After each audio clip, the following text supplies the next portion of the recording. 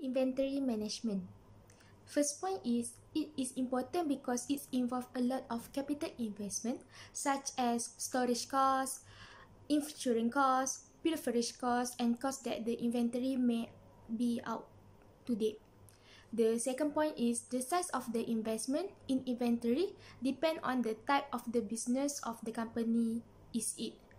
For example, services di mana kita ada dua, Maxis yang jual telefon dengan Maxis yang jual telco. Okay, uh, Maxis yang jual uh, telefon ni, capital dia lagi besar sebab dia simpan inventory berbanding Maxis yang jual telco. So next, we will proceed to the next slide which is purpose of carrying inventory. The point is to uncouple the operations of the firm that is to make each function of the business independent of each other function. So that the delay or shutdown in one area do not affect production and sale of the final product. Uh, kita bagi contoh mixing dengan cooking department. Okay. Setahu kita kan kalau mixing ada problem dia akan effect the next uh, area lah which is cooking department. Okay. So company will avoid this thing from happen. Uh, dengan cara the company uh, akan suruh the mixing department buat siap-siap uh, dia punya pro, uh, mixing tu supaya kalau nanti mixing tu ada problem cooking can proceed untuk buat uh, untuk buat the next level the next level lah. So dia tak akan effect uh, satu di, uh, akan effect next department tu even satu department tu tak boleh dijalankan so dia still boleh produce dia punya product So there are three types of inventories that we have to know. The first one is raw materials, which consists of basic materials purchased from other firms to be used in the firm's production operations. Its purpose is to uncouple the production function from the purchasing function to make these two functions independent of each other so that delays of in shipment of raw materials do not cause production delays, which means that a firm will try to avoid any uh, production stoppage when there is a delay in shipment of raw materials. So the next one is work in progress, which consists of partially finished goods requiring additional work before, before they become finished goods.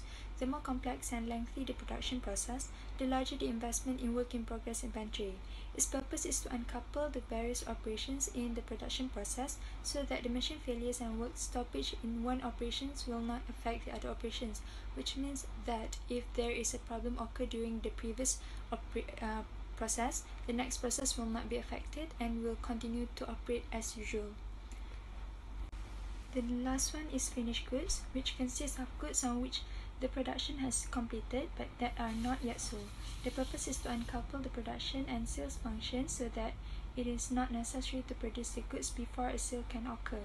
Sales can be made directly out of inventory, which means that um, the firm will have to constantly produce the finished goods, not just when there is a sale. So EOQ is economic order quantity. When we are starting our business, we need to buy inventory and we need to know how much inventory that is needed. So we should not buy too much or in, of inventory or too little of inventory. If our inventory is too much, we will experience spoilage and also that will increase the storage costs. Next, if the inventory is too little, we might experience stockout, which means when a customer come, there is no inventory item that left.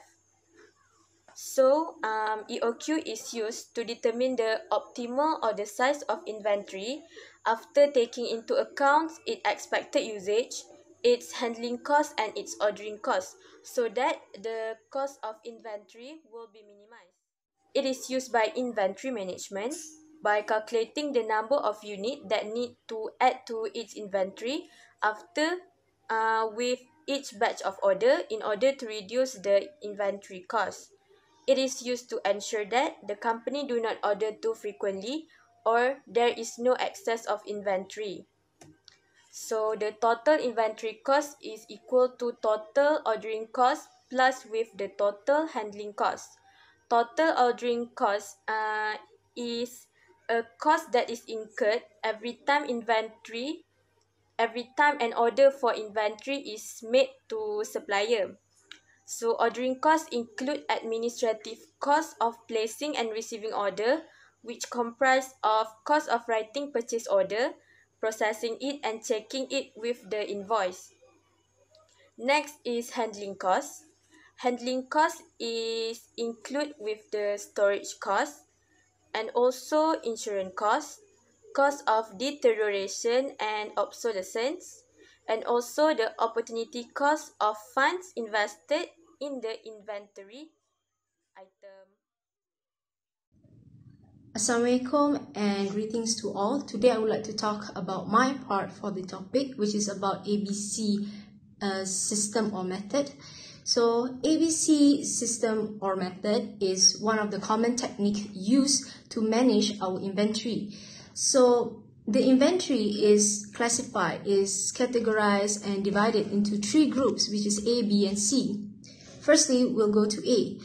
A is the category in which the item has the highest value of investment, means that the company puts in a lot of money for this particular item, which is uh, item A they are seen as a priority item and much effort is given to make sure that the stock doesn't run out. So it is also verified using perpetual inventory system and is closely monitored whether it is daily or weekly, depends on the business or firm. Next, we have B. So B has the second highest value of investment and is also monitored closely. Uh, it is close. It is monitored on a weekly basis. And then the last one is C. C has is basically has the la- uh, large number of item in relative to a small amount of investment means that it is the most cheapest and lowest consumption made by the company. So it is monitored using two-bin method. What is two-bin method? two-bin method is basically to determine when the material or item should be replenished. So just like its name, we have two bins, bin 1 and bin 2. So when bin 1, the materials in bin 1 is completely used up, a second, a second order will be made to, uh, to fill in the bin 1. So in the meantime, we will use bin 2. The second bin is used to have enough uh, used to have enough uh, material or item until the second order will be used to fill in the first bin. The previous order that we made is used to fill in the first bin. So one example that I can give you, which was already discussed in class, is about the shoe production um, we have Gucci, we have Nike, and also the Japanese foot sandals. So it is obvious that Gucci will be in group, will be categorized as item A because it is an expensive product. Whereas B, the Nike shoe, is considered as an affordable shoes that can be uh, bought by many people or by majority, but it is in between A and C. Therefore, it will be classified as B. Whereas the last one, the Japanese foot sandals, is the most cheapest among three shoes. Therefore, it is uh, to be classified as C. Um, with that, thank you. Okay, so today I'll be explaining about just-in-time inventory system or in the short term is known as JIT inventory system. So just-in-time inventory system is a system that ensure inputs in production only arrive when they are needed. JIT inventory system is a system or a set of technique that improve quality, increase productivity and reduce cost of operation. So the biggest advantage of implementing JIT inventory system is that it can help to minimize costs So the biggest saving occurs around around inventory costs. So I'll be giving an example of a company that implement just-in-time inventory system, which is Toyota. So Toyota will keep making the same order as soon as the order arrives. So by doing so, Toyota won't need to keep uh, stockpiles of their spare parts. This will cause a huge amount of savings since warehousing is very expensive and it requires a lot of cost. For example, it requires a cost of inspecting, cost of waiting, staff, security, massive space and electricity. So if the company do not implement this JIT inventory system, they will need to build a warehouse to keep their raw materials or supplies. So next, Toyota also will be able to customize product according to their customers' demand. So if there is no custom if there is no demand from the customer, the production will not be going on. This will help to reduce waste in the firm. Next, damage can be spotted immediately as the inventory is built according to customers' demand only. So this will result in management efficiency.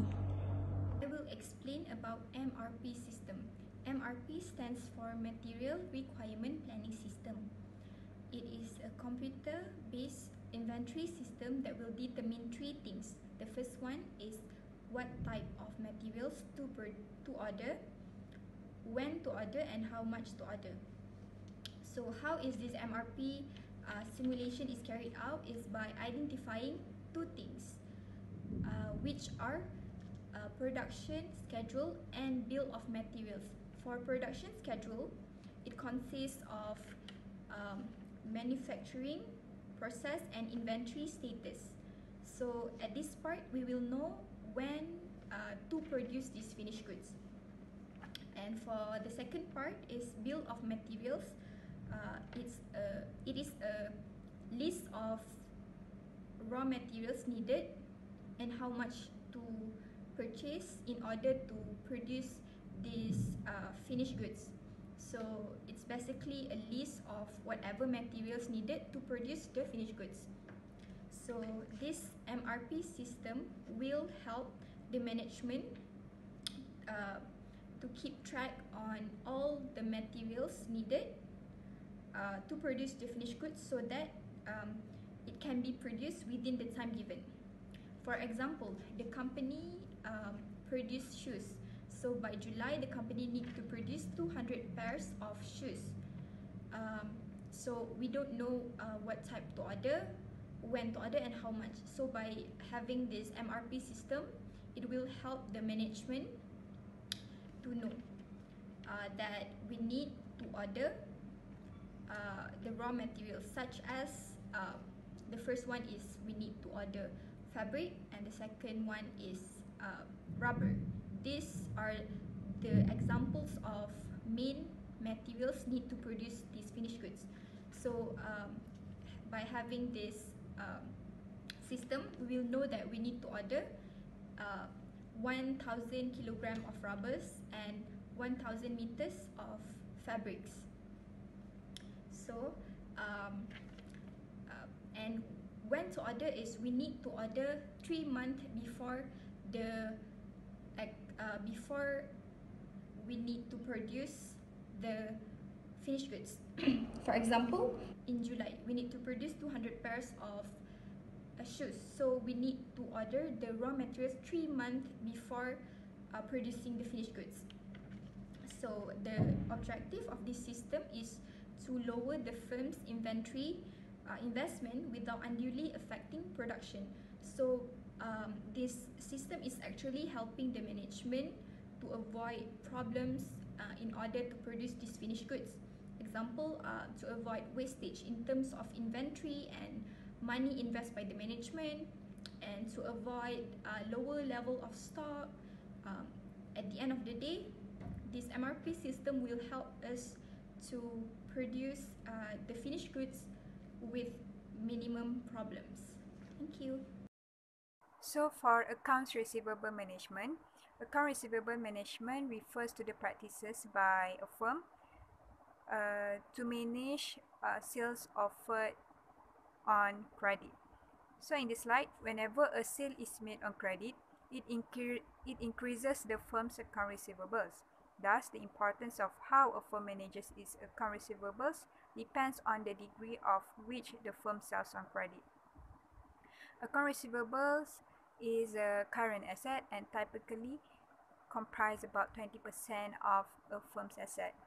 Receivable management begins with the decision of whether or not to go grant credits. For example, uh, a firm need to decide first whether to sell their goods on credit or cash sales. If they go with the credit sales, then the more the sales, the greater the account receivables of the firm. Assalamualaikum. My name is Shafiq. So today I will talk about size of investment in accounts receivable.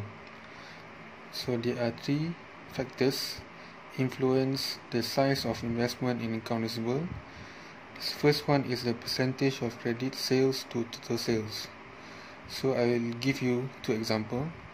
The first one, the business firm with grocery store, and the second one, the firm with a large size of, of business, which is construction lumber or kayu pembinaan. Right. So the large grocery store, grocery store, they happen to do a cash basis or cash operation operation sales. This is because maybe their products are identical and the cost of the product that they sold is cheap.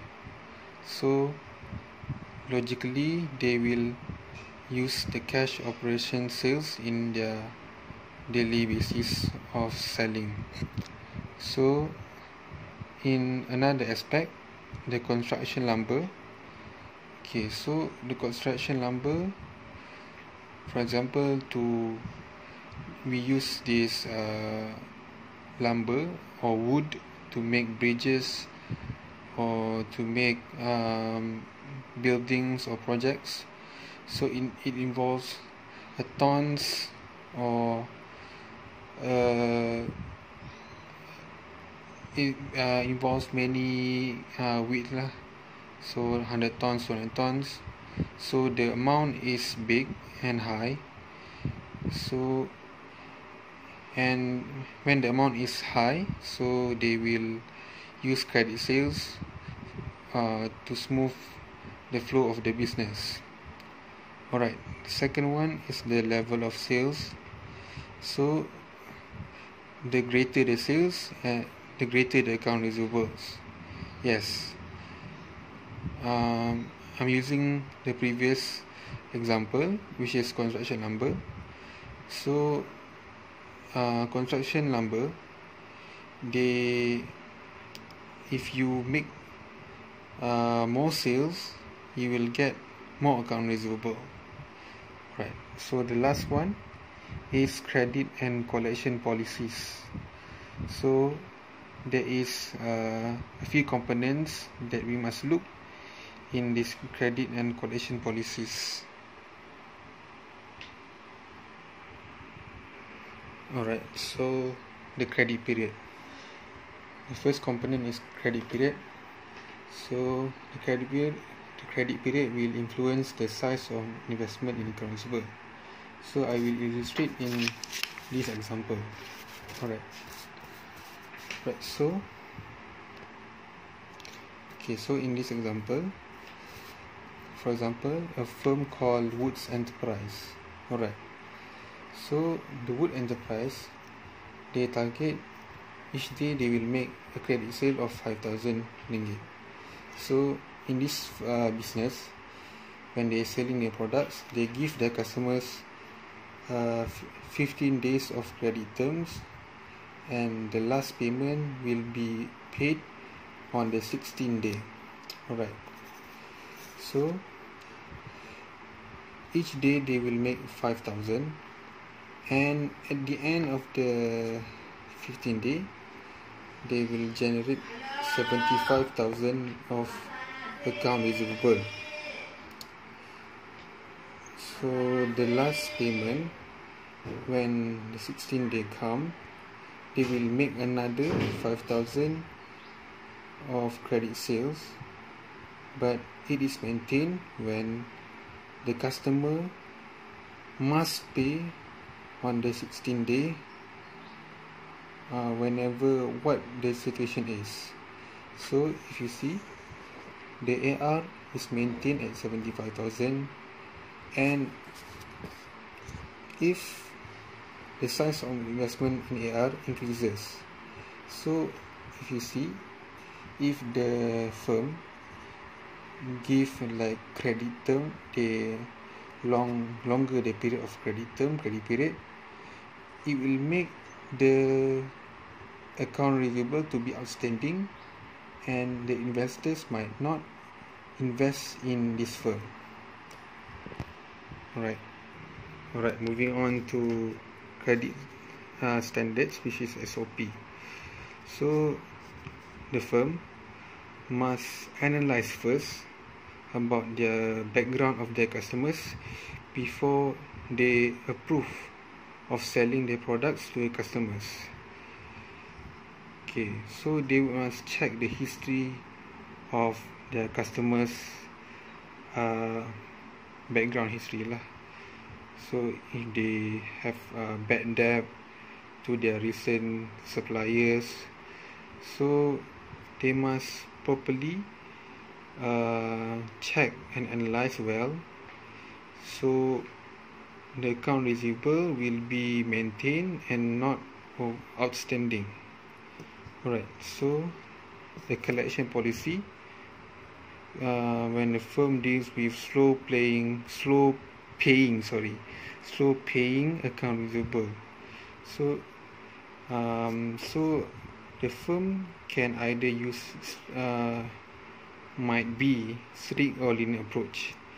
So if the firm is strict in collection policy he will notify the customers like for example the, if the credit term is 15 days each 3 days he will notify about the payment that he must pay on the 15 day. So the customers uh, will be aware and they will pay to the to the the firm lah. Alright so the lastly is the discount amount for early payments.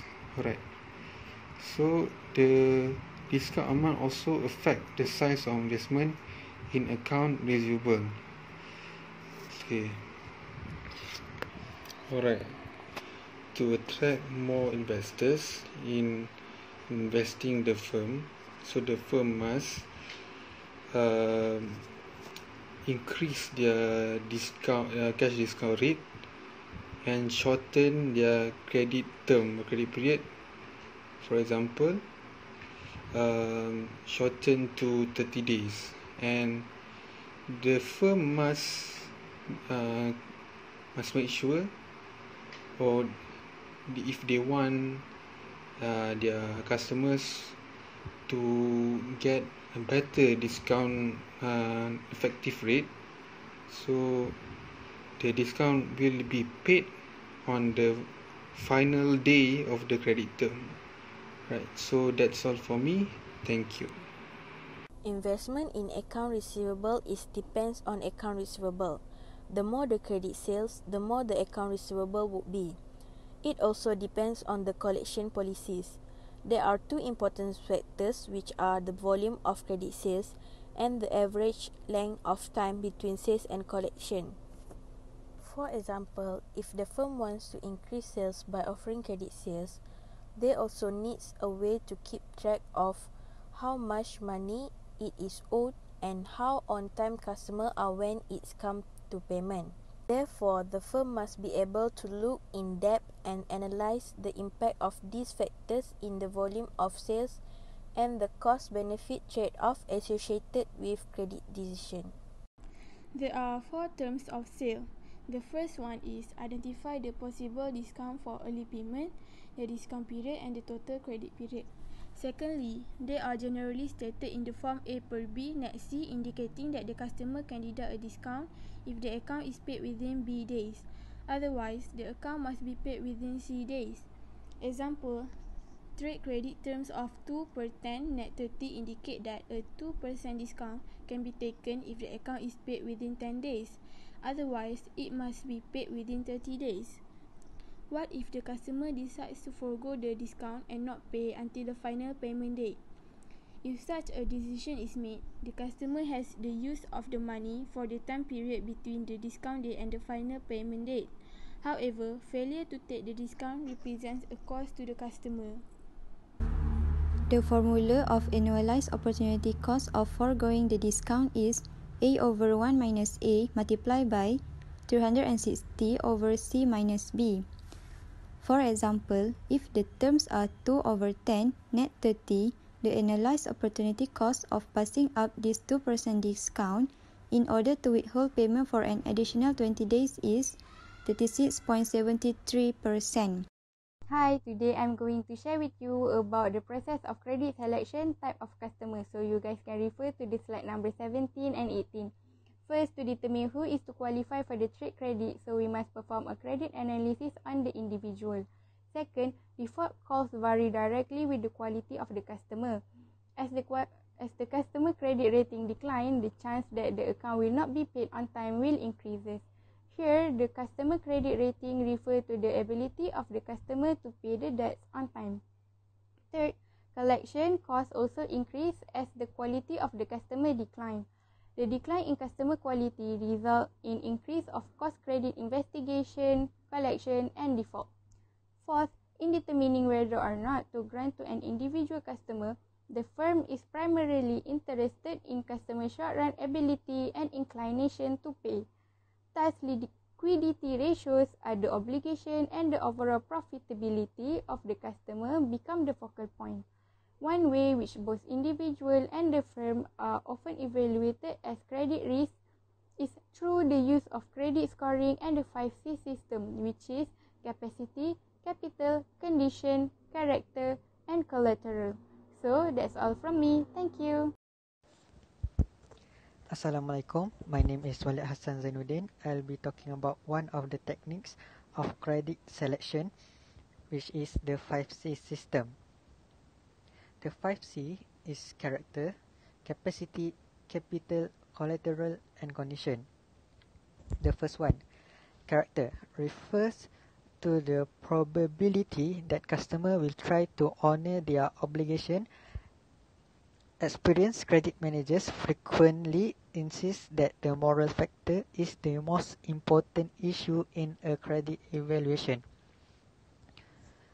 Uh, example of this moral factor is virtue such as honesty, responsibility, and timeliness in paying their debt. This is what creditors are looking for in the ex in this aspect of the customer. Next up, capacity. Capacity is the customer's abilities to pay. The firms will research the customer background in order to know the individual or firm's income. This is done in order to determine whether or not they can pay their debt. The third one is capital. Capital is measured by the general financial condition of a firm as indicated by an analysis of its financial statements. If a firm is applying for a trade credit, the company will look into the financial condition of the firm. The company wants to know the financial health of the firms and how does it compare to other firms in the same sector or industry. The next one is collateral. It is represented by assets that customer may offer as security in order to obtain credit. Basically, this is cagaran. Uh, for example, in our daily life is a car loan. In a car loan, the car is the collateral. If we are, if we defaulted on our payment, then the bank will take away the car. Similarly, uh, a company may require a collateral from the customer in case of a default. The last C is condition. Condition refer both to general economic trends and to special developments in certain geographic regions or sector of the economy might affect customers' ability to meet their obligation. The company will look into the global trends and also the local for us Malaysia and they will also look into the sector in which the customer are doing business in. Uh, for example, right now there is a pandemic going on, the coronavirus, and this pandemic has a negative impact on airline and in the uh, on airline and tourism industry.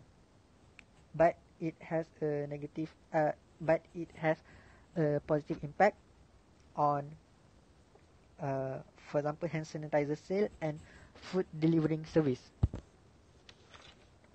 The company will look into the current economic condition in order to judge whether or not the firms have the ability to meet uh, the obligation. For example, if an airline company right now tries to apply for a trade credit, they might not be able to meet their obligation. Uh, in conclusion, all five of these factor character, capacity, capital, collateral, and condition is used by uh, a company to evaluate credit risk in the 5C system. That's all. Thank you. Assalamualaikum. So I'll be explaining the second technique of credit selection, which is credit scoring. And so this involves the use of statistically derived weights representing key financial and credit characteristics that measures a customer's overall credit strength. Uh, the purpose of credit scoring is to make an informed credit decision quickly and cheaply. So an example of this would be looking through the person's uh, financial history, their background, whether or not they finish paying their credits, whether they pay in small amounts or big amounts to finish up their credits, and do they still have outstanding balances that they have to pay. So this is all into this. This is all going to be in consideration before you give a loan to the person. So that's how credit scoring works. Uh, hi and assalamualaikum. So today I'm going to be explaining about credit monitoring and collection policy. So credit monitoring is an ongoing review of a firm's account receivable to determine whether customers are paying according to the stated credit terms. The key to maintain control over the collection of account receivable is the fact that the probability of default in so basically default means failure to to uh, failure to repay a loan in the due time increases with the age of the account. Thus, control of account receivable focuses on the control and elimination of past due receivable. So basically, credit monitoring is um, the firms basically monitoring and controlling their their credit sales. Basically, uh, making sure that the account receivables are paying back in the due time and making sure that there are no past due receivables. So there are a couple of techniques in credit monitoring. So the first one is average collection period. So basically it is av average number of days that credit sales are outstanding. An increase in the average collection period may be the result of a predetermined plan to extend credit term or the consequences consequence of poor credit administration. So basically average collection period is the number of day from the day the credit sales is made to the day we receive the money from the account receivable. So the more number of days meaning that the longer we have to wait to receive the money from the account receivable. So in this case, the lower the number is the better. So the second one is aging of account receivable. So basically it is a schedule that indicates the percentage of the total account receivable balance that have been outstanding for a specified period of time. Its purpose is to allow the firm to pinpoint problems. So basically aging of account receivable is like uh, is basically like a report where you can see all the list of your account receivable and it helps you to decide what actions needed to be taken against these account receivables. The third is ratio of receivable to asset. So basically the ratio from your account receivable to your asset. The fourth one is account receivable turnover ratio. So basically account receivable turnover ratio measures the efficiency in collecting debt. So the formula is uh, net credit sales over average account receivable. So basically if you get uh, the higher the ratio, the higher the number means the shorter number of days needed to collect the debt. So which is the higher the ratio, the better. The last and the final techniques is ratio of bad debt to credit sales. So just as the name sounds, it's basically you are calculating the ratio of the bad debt from your credit sales. So the higher the ratio means that you are having more bad debt in your credit sales, which is not good because you unable to collect the debt. So an increasing in this ratio may indicate too many weak accounts or an aggressive market expansion policy. Alright, now moving on to the next slide which is collection techniques. So this is basically steps on how the firm can collect payment from their customer. So the first point here is letters and the second point is telephone call. Okay, let's say for example, the credit period given to a customer is 30 days, but after the end of 30 days, the customer still has not paid the debt. So in this case, the firm can take action by sending letters to remind the customer about the overdue payment. And if still there is no response, the firm will make a telephone call to request for immediate payment. And the firm may also extend the credit period if the customer has reasonable excuse for the delay of payment. So that's So the next technique is personal visit. Personal visit is something like making an appointment. So in this case, uh, the firm can send a salesperson to meet their customer face to face to confront them, to ask them, to ask the customer to make the payments earlier. So the next method is collection by collection agency. What is collection agency? Collection agency is a business that pursues payments of debts that owed by either the individuals or the company. So actually, the firm can hand over or turn over the uncollectible accounts or the payments that cannot be paid by the customer to this agency for them to collect the payments because they are collection agency. Lastly, if the customer still fail to make payments, then the last step is by taking legal action. So this step is the most strict step as it will force the debtor to make payments until it can cause bankruptcy. So they can sue or start a lawsuit against the customer. Yeah, that's all. Assalamualaikum. Uh, today we are going to explain about management of cash. Cash is the currency and coin the firm has on hand in petty cash drawers, in cash registers or in checking or money market accounts. Often called as non-earning asset. The goal of cash manager is to minimize the amount of cash the firm must hold for use in conducting its normal business activities, yet at the same time the, to have sufficient cash to take discounts for early payments. Uh, for example, uh, Lokman is the manager of the firm, so he must uh, manage the cash exactly to pay the debts, not more or less. Number two, to maintain its credit rating by keeping its current and asset test ratios in line with those or others firms in its industry. Okay, for example, for example, Lokman's company uh, purchase credit inventory from other company. So, uh, they they pay the the debts uh, exactly on certain dates. So, uh, other company will not blacklist the the uh, Lokman's Lokman's firm. So, uh, Lokman can ma- maintain uh, their firm's reputation. Uh, this, the third point is to meet unexpected cash needs such as strikes, fires or competitors, marketing campaigns and to weather seasonal and cycling downturns. For example, the company must have enough cash for the unexpected event. For example, if there's fire breaking out from the firm's from the firm's buildings, then we have to have enough cash to to repair the the firm the building later. And the last the last point is to take advantage of favorable business opportunities such as special offers from suppliers or the chance to acquire another firm. Uh, for example, we have to have enough cash so that other companies would look look up to us and they will offer some special offers to us first before they offer it to other companies. So we have four motive for holding cash and the first motive is transaction balance. Transaction balance is the amount of cash necessary for day-to-day -day operations.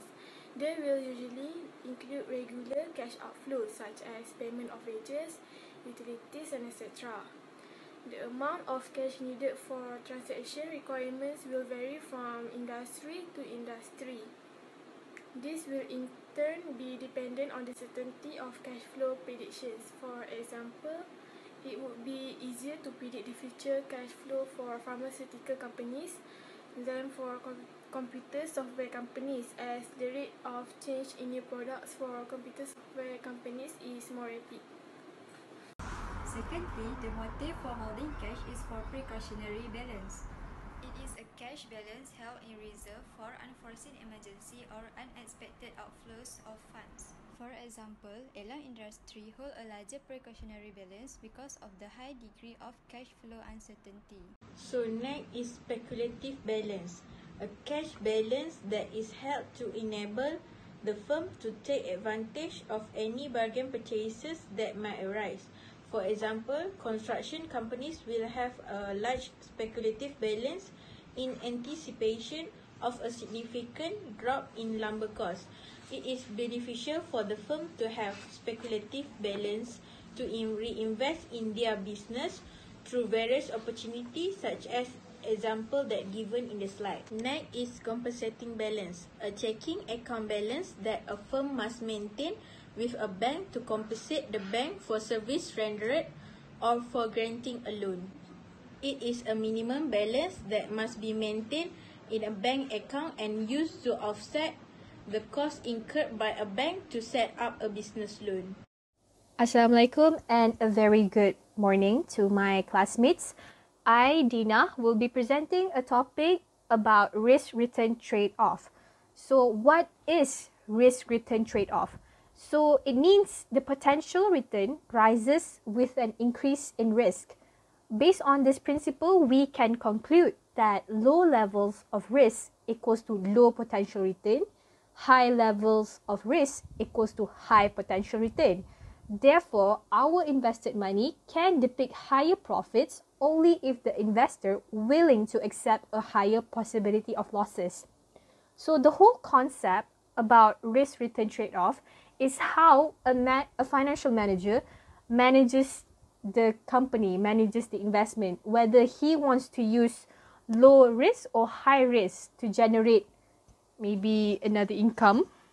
For the second slide, the financial manager must strike an acceptable balance between holding too much cash and too little cash.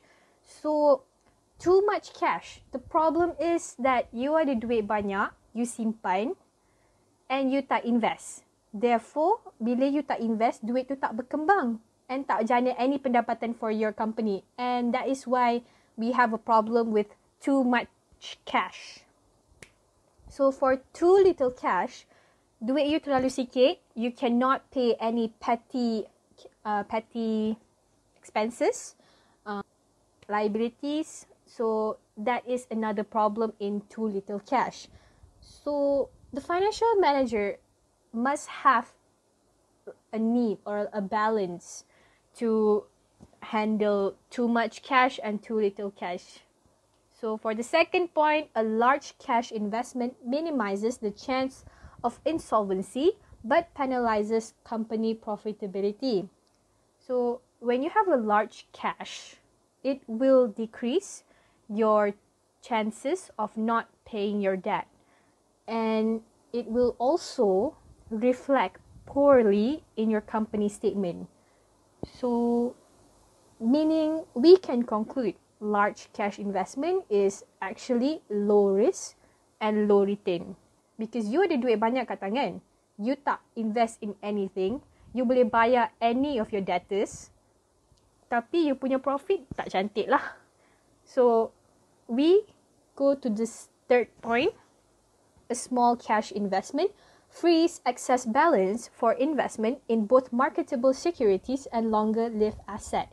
This enhances company profitability and the value of the firm's common share, but increase the chances of running out of cash. So you have a small cash investment. Duit kat you, you buat small cash investment.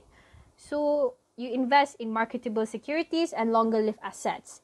It will increase your company's profit. It will increase your company's common share, and it will also runs out because you dah in, duit sikit, you dah invest sikit, sikit, ha, sikit, sikit, lama-lama, hmm, lesap lah ya. Okay, apa yang kita dapat conclude is that high risk equals to high return, low risk equals to low return.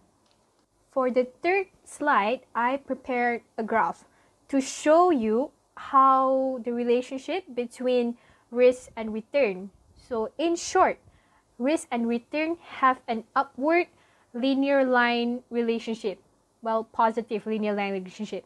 So, low risk equals to low return and high risk equals to high return. Sekian, terima kasih. Assalamualaikum, I'm Rashika. So, I'm going to present cash planning. Uh, cash planning uh, basically is a technique to plan or control the use of the cash. Um, in other words, showing the estimate cash inflows and cash outflows over a planning period. It is necessary to prepare a statement of the firm's plan, inflow and outflow of cash known as cash budget. Uh, the cash budget is an important tool for the flow of cash in any firm over a future period of time. Cash budget is an estimate of the firm's short-term cash requirements, usually covering a one-year period, which is further divided into smaller time intervals. Uh, the period for which the cash planning is prepared depends on the size of the firms and management. Uh, for example, large firms uh, will prepare daily and weekly, while medium prepare weekly and monthly forecast. Uh, so cash budget indicates whether a cash uh, shortage and surplus will be expected of in the time intervals covered by the forecast. Um, so thank you. Okay. Management of receipts and payments. Slide number 32. You can read. Number one, the receipts processing and collecting time for the firm both both from its customers and to its suppliers is the focus of receipts and disbursement disburses disbursements management sorry um, maksud dia uh, management of receipt and payments. Dia fokus to receipt um, for example receipts the asset uh, receipt payment processing um, for uh, processing um, macam process the asset process the uh, payment and collecting time. Uh, for example the time that the period of time that we get the asset or we pay the we we pay the payment this is the focus of receipt and this um, management of receipt and payments. Second, flood funds that have been sent by the payer but are not yet usable funds to the payee. It is important in the CCC because it presents lengthen both the firm's ACP and PDP. Uh, maksud dia, flood flood tu macam satu amount that send by the payer payer payer hantar tapi um, bayaran tu, bayaran yang PAYE hantar tu belum boleh digunakan lagi oleh PAYE si penerima. So that's the flood. Second slide. Uh, we have flood. Flood has three components. You know. Number one, mail flood. Time delay between when payment is placed in the mail and when it is received, which we basically um, uh, bila payment to when payment is placed bila payment di letakkan in the mail. And when it received um, the, the the the the period the period between payment is placed and payment is received. Uh, that is the mail flood. Second processing flood. Time between receipts of payments and its deposits into the firm's account.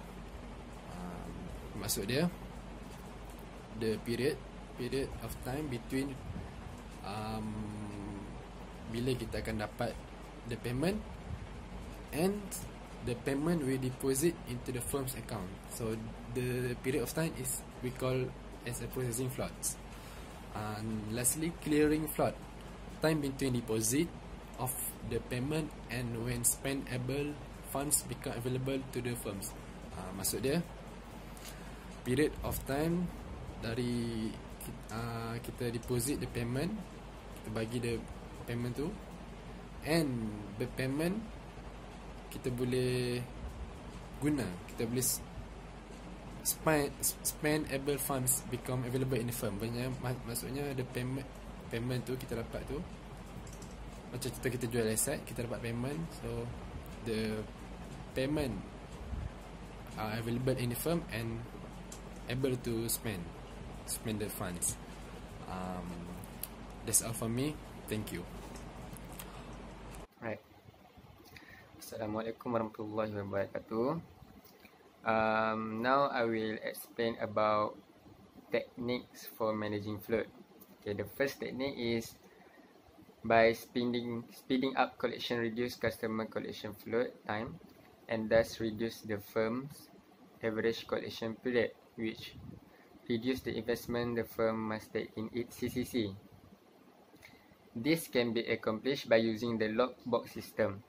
A lockbox system is procedure in which the customers make payments to a post office eh, to a post office box uh, to a post office box that is emptied regularly by the firm's bank who process the payment and deposit them in the firm's account. So here we can see the lockbox system will reduce mail time, clearing time and processing time.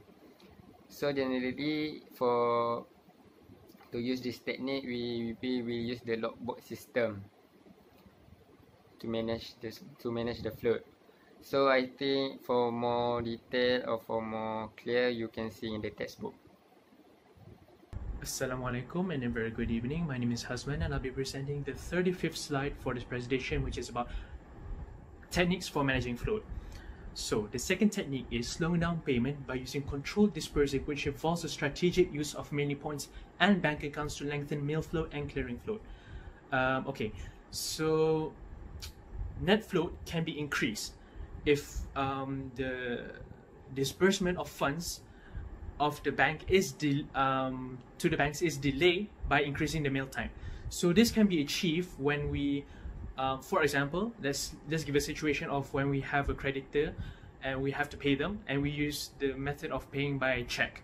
So when we use um, the check, uh, we try to transfer it to them by using the mail. So we have a check um, transferring to the mail.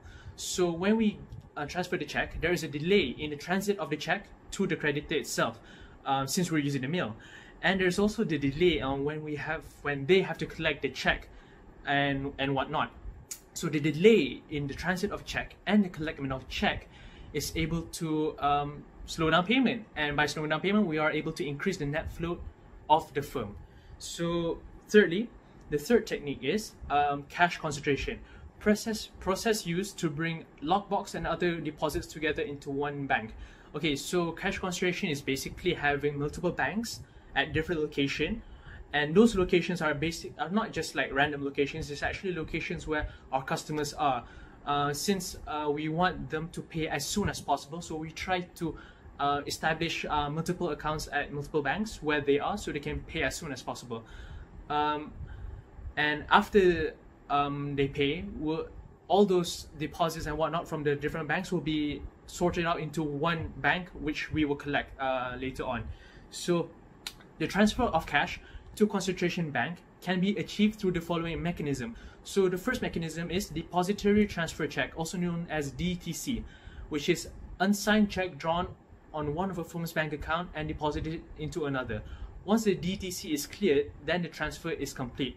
So DTC um, basically is um, for checks which are unsigned. So after the our customers have made payments on the multiple banks and whatnot, so before they are transferred to that one bank that we will collect late, uh, later, uh, they will be assigned to DTC, which um, there will be a check for um, the checks will be the deposits will be checked on and once it's cleared, um, it'll go to the main bank that we already uh, approved of.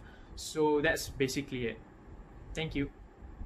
Assalamualaikum warahmatullahi wabarakatuh. Let's continue with the second mechanism of cash concentration technique for managing float, which is automated clearinghouse transfer (ACH). It is pre-authorized electronic withdrawal from the payer's account and deposit into the payer's account via a settlement among banks by the by the automated clearinghouse uh, it is it is the same just like online transfer but uh, have a bit difference the example of SEH is uh, when employers depositing money into their employees checking account uh, the transaction is already pre-authorized so uh, the employee employer just transfer the amount of salary to his employees. Uh, the next one is wire transfer. Wire transfer is an electronic communication that via bookkeeping entries remove funds from the pay payer's bank and deposit them in the payer's bank. Uh, in the online transfer, there are some type of wire transfer. Uh, pe- people commonly use wire transfer nowadays. Uh, but uh, ACH and wire transfer has a difference, uh, which is like this. Uh, and next, the last one is zero balance account. Uh, it is disbursement account that always have an end of day balance of zero. Uh, it said that, for example, like uh, there are client, uh, he want to pay to the bank, he will, uh, he will put the money into the account, and the money in the account will transfer to the bank, uh, which mean uh, the account which he transfer to will have zero balance in the account. Okay uh, that's all for me. Thank you the advantage of using cash concentration the first one it create large pool of fund for use in making of short-term investment this is because uh, the deposit uh, from various account uh, will be put into one account uh, this will make a ready-to-use uh, fund that will be used in making short-term investment. The next one is it, it improve tracking and internal control of firm cash.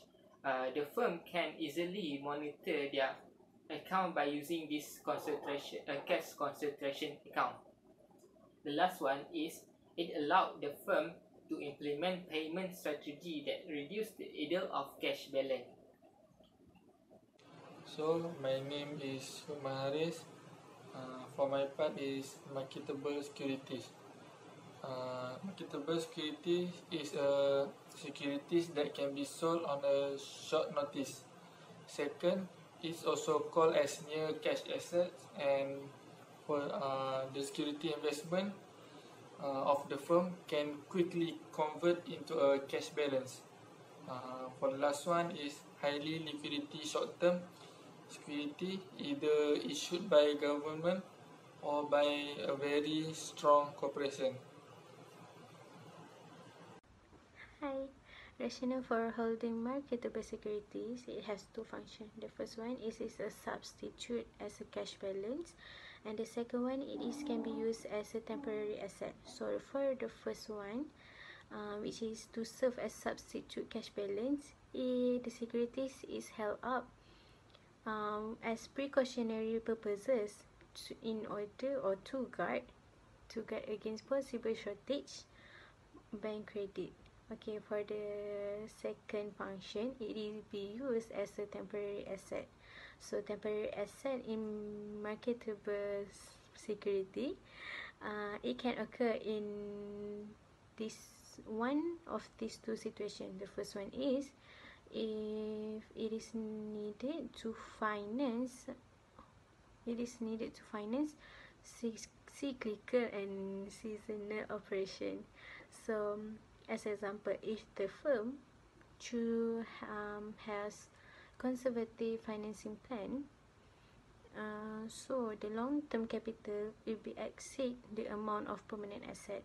So this security will be held when the amount of inventory and receivable are really low. So the second situation is to meet non-financial requirements. So it can the example of financial requirement is tax payment and maturing bond issue. Thank you. Factor influencing the choice of marketable security. First default risk. The risk that a borrower will not pay the interest or principal on a loan.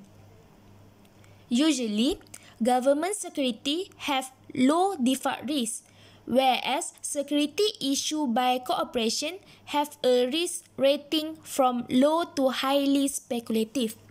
This default risk where borrower can't pay the interest on a loan. Next is interest rate risk. The risk of decline in bond price to which invest sector are uh, exposed due to the rising interest rate. Financial instruments with longer terms to maturity are more sensitive to changes in interest rate. For example, I give that treasury bills with one year day one year and treasury bill with 90 day. Treasury bills with one year will experience larger price drop where interest rate increase compared to the 90-day treasury bill. Next is inflation risk. The risk that inflation will reduce the purchasing power of a given sum of money.